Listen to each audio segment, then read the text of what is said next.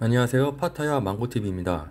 2020년 5월 14일 태국 뉴스와 코로나19 관련 소식입니다. 누적 유증상자 3,117명 추가되어 11만 4,405명, 누적 확진자 1명 추가되어 3,018명, 치료 중 환자 112명, 누적 완치자 6명 추가되어 2,850명, 누적 사망자는 없으므로 56명입니다. 2단계 조치 완화 검토를 위해 5월 13일 6시간의 특별위원회 회의를 가졌습니다. 나타폰 육군 부사령관은 백화점 영업 재개 관련하여 파라곤 백화점 시차를 다녀온 결과 8, 90% 이상은 영업 재개 준비가 잘 되어 있었지만 모든 곳을 다 여는 것은 아니라고 덧붙였습니다. 질병 역학 조사를 위해 각 장소 출입 시 반드시 출입 체크를 해야 한다고 강조하였습니다. 5월 13일 특별위원회 회의에서는 야간 통금 시간 변경에 대한 논의도 있었으며 기존 시간대에서 1시간 줄이는 방안을 5월 15일 회의에서 다시 논의한다고 합니다. 관광체육부는 코로나19 사태로 인해 금년 국내 관광이 크게 위축될 것으로 예측했으나 현재 상황이 호전되고 있어 금년 국내 관광 목표를 1억 명으로 상향 조정하였습니다. 관광청장은 코로나 사태가 진정되면서 해외여행이 어려워짐에 따라 국내 여행을 하는 내국인들의 수요가 증가할 것으로 예상했습니다. 푸켓은 5월 11일부터 신규 확진자가 발생하지 않고 있으며 봉쇄 조치도 5월 15일 종료 예정이므로 푸켓주는 내무부에 5월 16일부터 봉쇄 해제를 신청하였습니다. 또한 민간 항공국에도 공항 운영 재개를 요청할 예정입니다.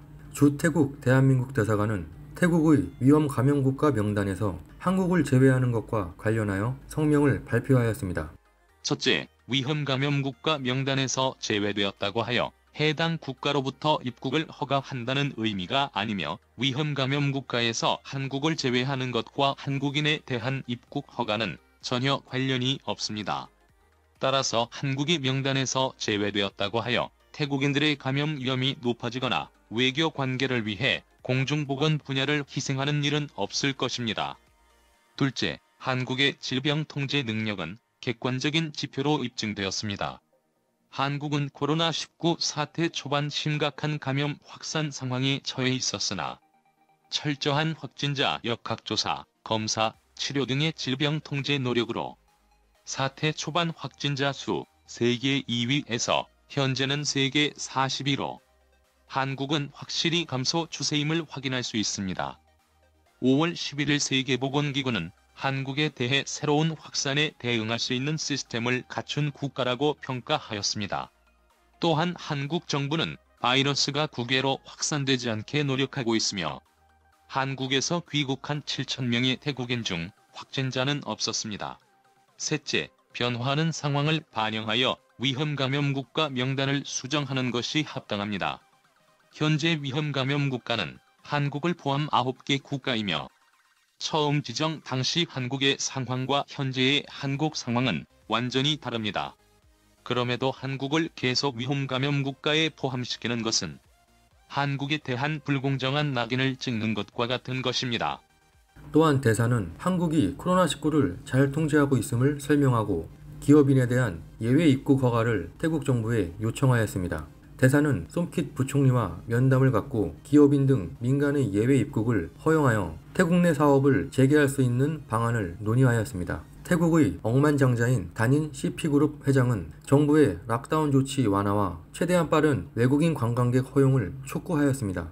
특히 태국을 찾는 부유한 관광객들에게 태국이 안전한 천국이 될 수 있도록 해야 한다고 강조했습니다. lockdown으로 인한 태국의 경제적 손실은 매일 160억 바트, 매달 5천억 바트에 달하며 백신 개발과 양산까지 기다릴 수만은 없으며 경제가 그만큼 견디질 못할 것이라고 말했습니다.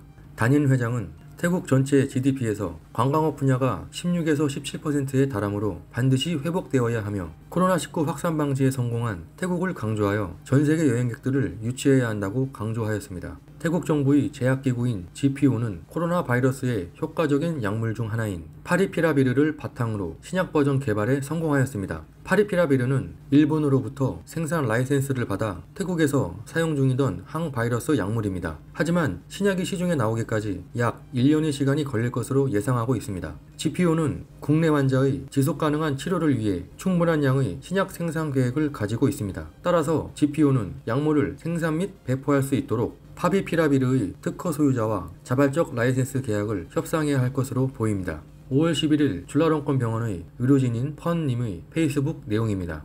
오늘 드디어 쭐라롱껀 병원에 있는 중환자실에는 코로나 바이러스에 감염된 마지막 남은 환자가 퇴원을 하였습니다.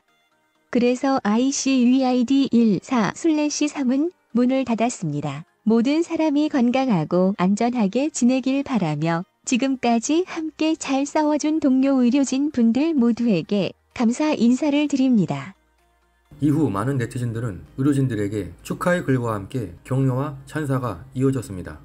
내무부의 1569 신고센터는 두리안 판매 상인이 저울을 속여 판다는 신고를 접수받고 경찰관과 함께 방콕 프라나콘 지역에서 두리안을 판매하는 상인을 검문하였습니다. 측정 담당자는 먼저 저울을 확인하였고 인증마크가 손상된 저울은 손을 댄 흔적들이 있었다고 합니다. 그 후 저울에 1kg 무게초를 올려놓으면 2kg 눈금을 가리키고 2kg 무게초를 올려놓으면 3.1kg를 가리켰다고 합니다. 즉 1kg씩 속여 팔고 있었습니다. 현재 두리안 가격은 1kg당 150바트 약 5,700원입니다. 경찰관은 저울을 속여 판매하는 행위는 7년 이하의 징역형 또는 28만 바트 약 1,071만 원의 벌금형에 처해진다고 하였습니다. 5월 11일 수린에 위치한 콰오 시나린 경찰서는 싸움닭 두 마리를 훔쳐간 절도범 검거 사실을 발표하였습니다. 싸움닭을 키우는 46세의 알파인 씨는 한 마리당 3, 4만 바트 약 153만원가량 하는 닭들을 도난당했으며 이 닭들은 여러 번 우승을 했던 닭이라고 합니다.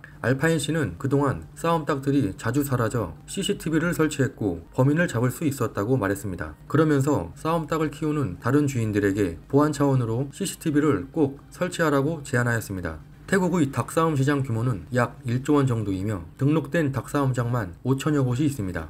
한 경기에 오가는 판돈이 많은 곳은 10억 원 정도라고 합니다. 태국에서 도박은 불법이지만 당국이 묵인 속에 동네마다 무허가 닭싸움장이 성행하고 있습니다. 태국 정부는 오래된 전통 문화를 운운하며 봐주고 있지만 동물 학대라는 비판은 계속 끊이지 않고 있습니다.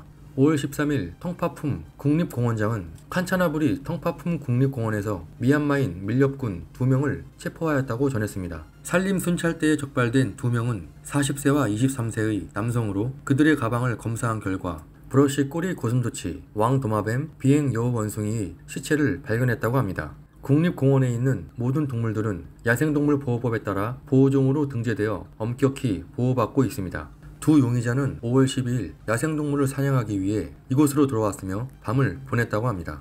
공원 순찰대는 용의자 2명과 총기, 차량 및 기타 증거들을 텅파품 경찰서에 넘겨 법적 조치를 취했습니다. 5월 13일 송클라 남부의 고무농장 소유자는 농장에서 15개의 파인애플 나무가 하나로 합쳐진 특이한 형태의 파인애플을 발견했다고 합니다. 이 농장 소유자는 특이한 파인애플 나무가 발견된 후 매일같이 꽃, 향, 촛불을 가져와 정성껏 기도를 드리고 있으며 혹시나 모를 복권에 당첨될 행운의 숫자를 받을 수 있을 거라 생각에 부풀어 있다고 합니다. 마지막으로 5월 16일 복권 행운의 숫자는 158번이라고 전했습니다. 저희 망고TV의 태국 코로나19 관련 소식은 계속됩니다. 구독, 좋아요, 댓글 많이 부탁드립니다. 지금까지 파타야 망고TV였습니다. 감사합니다.